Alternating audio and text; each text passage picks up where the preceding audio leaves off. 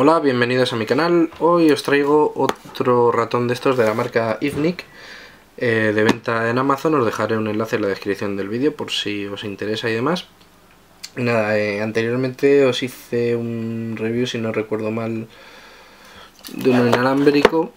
Y en esta ocasión pues es uno con cable. Vamos a cortar el precinto, como veis viene perfectamente precintado. Y nada, pues solamente sacar el ratón.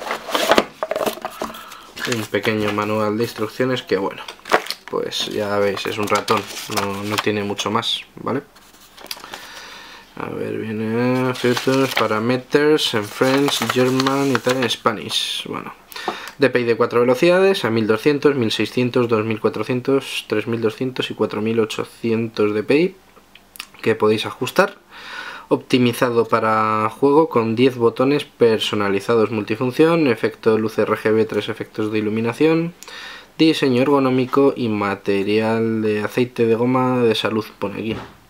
Pues vale. Modelo del producto PW2, em, cambio de 200 a 4800 de DPI ajustable, eh, clic duradero hasta 3 millones de clics, número de botones pone 6 llaves, Peso del ratón 149 gramos, tamaño 136 x 78 x 38 milímetros, voltaje 5 voltios a 100 miliamperios y válido para Windows XP, 7, Vista, Mac, etcétera, etcétera. ¿Qué más tenemos por aquí? Bueno, eh, aquí nos dice para qué es cada botoncito y nos pone unos códigos QR, imagino que por si queremos adquirirlo. pues vamos a lo que es el ratón en cuestión. De primeras ya eh, lo que me mola el tipo de cable de estos recubiertos como si fuera una cuerda de estas de cordino de escalada que lo que hace es que el cable dure bastante bastante más que cualquier otro cable normal no, esto no lo vais a conseguir por torsión y demás no vais a conseguir que se parta como otros cables y nada eh, lleva aquí la piececita esta para evitar pues eso interferencias vale y demás un USB bastante chulo, un poquito largo para mi gusto, pero bueno, está bien.